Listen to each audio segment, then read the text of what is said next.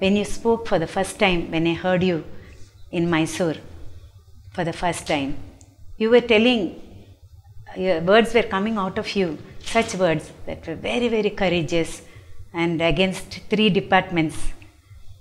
It is uh, puja department, veg, non-veg department and medicine department. So how it is possible for a human being to even say those words? I was wonderstruck. Please enlighten on this. Oh, yeah. There are three things that you should never do, and there are three things that you should do. This was my research. Slowly I came to know about all these three things what to do, and three things what not to do.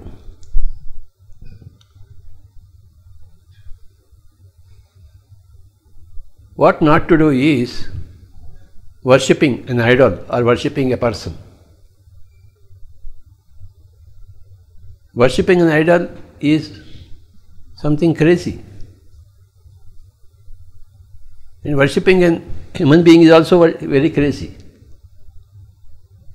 Okay. Although I was brought up in a Hindu tradition where we go to the temple, Rama statue is there, Rama God is there, Krishna is there, Shiva is there, we do namaskars and come back. All that culture I was I had gone through. But when I became an adult, I found it's all meaningless.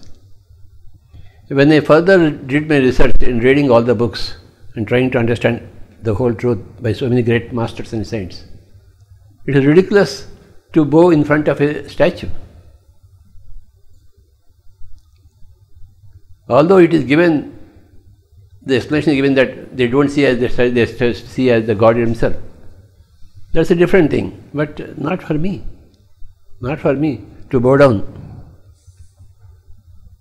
And I won't bow down, and I won't allow anybody to bow down if they would like to hear me, listen to me.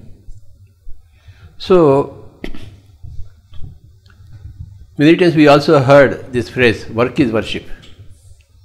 That is the right, right worship. Worship is not worship, worship is stupidity. Spiritual science, stupidity. Stupidity from the point of spiritual science. It is greatness from the point of religion, but it is stupidity from the point of spiritual science. What to do? I find it stupidity, I speak it that way. So, doing that worship, that puja, see, you pluck a flower here and put the flower there on the statue. How dare you pluck the flower here? The plant is getting suffered because of you, and you are worshipping here, you are harming the God here, and you are you are trying to please the God here. What kind of a God are you? When you pluck a flower, that fellow is crying, the plant is, the tree is crying. Why are you doing it to me? If you want to eat something, you can eat, but you are not eating. You are just plucking the flower, plucking the leaf, and putting here, doing patri puja, pushpa puja. No. The tree, the plant doesn't like it. How dare you do that? If you cut my ear and give it to Lord Shiva, uh, would I like it? I won't like it. How dare you cut my, even my hair also you can't cut. My hair is my hair. How dare you cut my hair? Even if cutting my hair doesn't harm me, you give me still you can't do it. Only you must take my permission. So I am dead against puja. There is the first no. No, it means no. You want to do it, you do it up to you, but it is not sanctified by Shastra.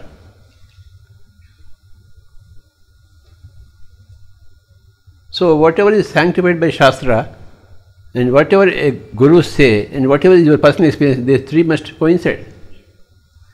Whatever Shastra says, whatever guru says, and whatever your experience, Swanubhava, they all tally. My Swanubhava says that you can't bow down your head to a statue. My reading of Shastra tells me the same thing. Aham Brahmasmi, I am God, you are God. So who are who is to worship whom? And my Guru also told, told me the same thing. Aham Brahmasmi, Tattvamasi. So all these three things, the, the, what Guru says, what Shastra says, and what my experience, my own personal feeling is, they all tally. So I follow what my heart is. As Richard Bach said, your only obligation in any given lifetime is to be true to yourself. I am not, I don't want to be true to you, or true to the society, or true to my Hindu religion, my brought up. No, I am true to myself. The only obligation in any given lifetime is to be true to yourself.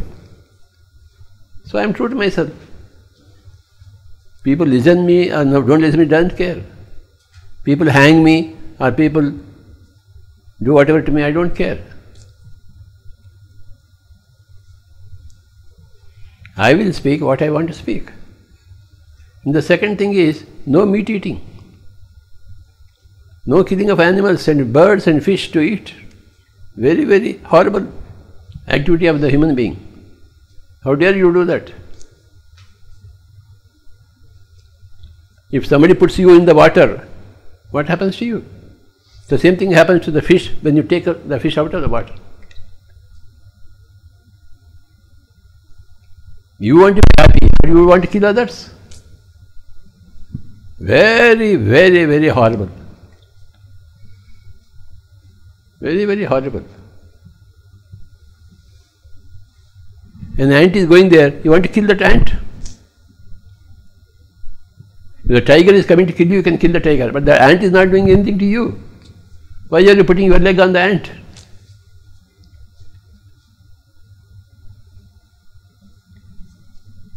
In my childhood, I used to kill the rats in my home. Now I regret. At that time I didn't know. Orders by parents, then I had to do it. I'm very sorry I killed many rats. They were coming for their food, a few grains, and you are killing them. I am such a big papi. I've done a lot of sins.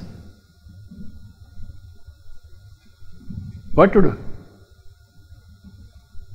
Okay, I'll go through the effect of my sins. I killed many rats. Don't tell anybody that I have killed rats. huh? We all have. Keep it a secret. We all have done unknowingly. What unknowingly? Knowingly you have done it. You have searched for the rats and hit them. It was a big adventure. You, are, you, you felt victorious in killing a rat. There's a compulsion of the I can never forgive myself for that. That always pinches me, even now. Hmm. What to do?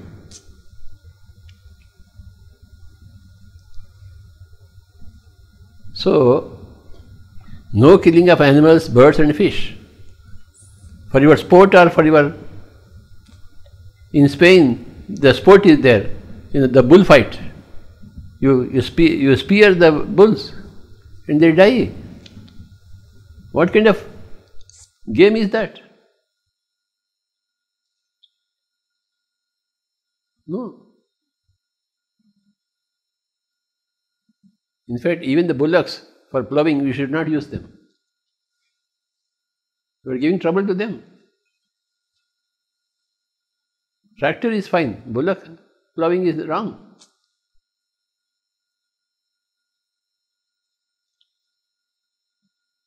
You should never give trouble to any animal, any bird, any fish. Even if when you put aquarium, you are limiting the movement of the fish. You should not have an aquarium for your sport.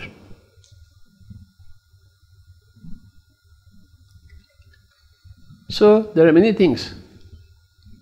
For silk, they kill the worms. You want silk huh? to kill all the worms? Put them in the boiling boiling water. Huh? Can't you have a cotton sari? Why do you want a silk sari? Sari? You want a silk sari? No. Never. I don't want to kill. So I am dead against killing animals for food. Arey, live on a tomato, live on a potato, live on an apple. So many fruits are there. Why are you killing animals? So the first thing is no puja, no worship. Second thing is no meat eating, no killing. And the third is no doctor. See, you have got a cancer because of yourself, and doctor is going to remove that cancer? No. You have to remove that cancer. You brought it into yourself by your stupid eating, by your stupid waste of energy. When you talk unnecessarily, when you think unnecessarily, you are wasting energy, and bacteria and uh, virus will come and attack you because this body is food for them. As fruits are food for you, this body is food for them. The tree is happily giving its fruits to you. You also give your body freely to the bacteria and the virus. Even after they eat, there is enough for you to have your body for you. No pesticides on the farms, no weedicides. I come from the fertilizer background, but I am against all the fertilizers, pesticides and weedicides.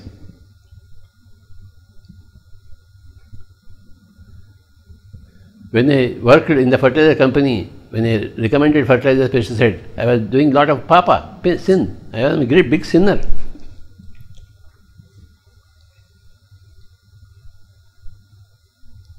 But at that time it was earning a bread for me.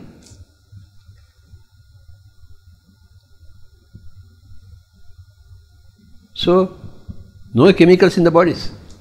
No chemicals for the plants, no chemicals for human bodies. You die, yeah, there is no death.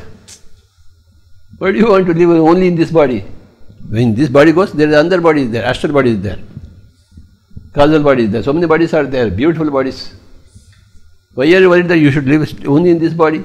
Hang on to life? No. That is not spirituality at all. If you still see some tragedy in death, you are not spiritual at all. There is no death. In Bhagavad Gita, Vedavyasa says, हतो वा प्राप्त से स्वर्गम जितवा वा भोक्ष से महिम तस्मात् उत्तिष्ठ कुंते युद्धाय कृत निश्चय If you die, you go to Swarga. If you win, all this is the words. Why are you worried about death? Na hanyate hanyamane sharire. When the body is killed, Atma is never killed. So, why are you worried about your death? There, is no death. Then why are you worried about the doctors and medicines? You want to preserve your body? No, why? If my body vanishes now, what, what is it for me? Let the cancer come and consume me. If I've done my sins, then I have to pay for the sins. Happily I'll pay. So no doctor, no medicine. Some things are there, like eye vision. So it's not a disease. So I get my eye operated. Okay. Or if my I, I lose my tooth, I have artificial teeth. These are all good. These are not medicines. They are artifacts. Such things are good. It's not a disease. If my teeth are lost, it's not a disease, it's natural. So I can have artificial teeth. Why not use my artificial teeth? I am happily enjoying. If I don't have artificial teeth, all my teeth are artificial. If I don't have teeth, I can't chew anything, I can't eat anything, I can't enjoy my food. But with my artificial teeth, I can enjoy everything as I was enjoying earlier. All my teeth were going one by one. Doctor assured me, shall I pluck one? I said, no, no, uh, no violence. Let it fall by itself. So every tooth was getting loose and falling. Lot of pain was there. I went through all the pains. I never, no violence on my tooth. It should fall by itself. When everything was well, I had my artificial teeth. I am enjoying my life.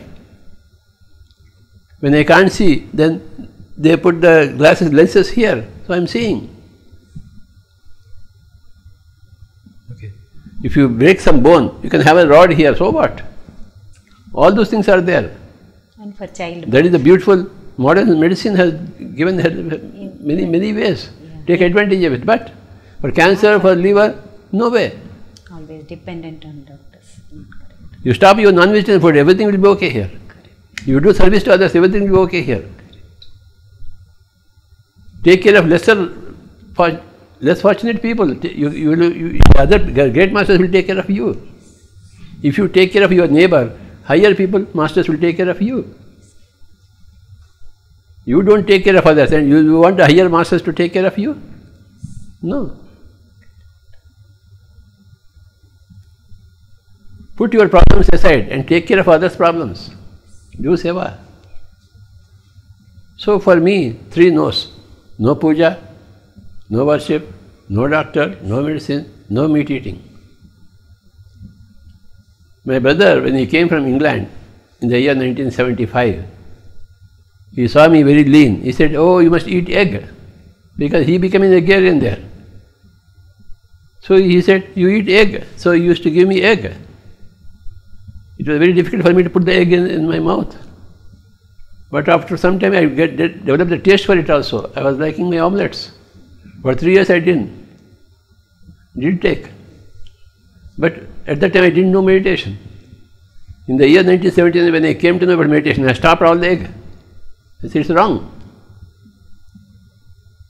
My brother put that egg into me, and he started eating all meat. My own brother. So I left my brother. You are a stupid fellow. I don't like you. Anybody who is eating meat is wrong fellow. I won't even talk to them. Whether my brother or my sister, so what? My sister eldest was doing all worship, so I left her. My brother was eating meat, so I left him.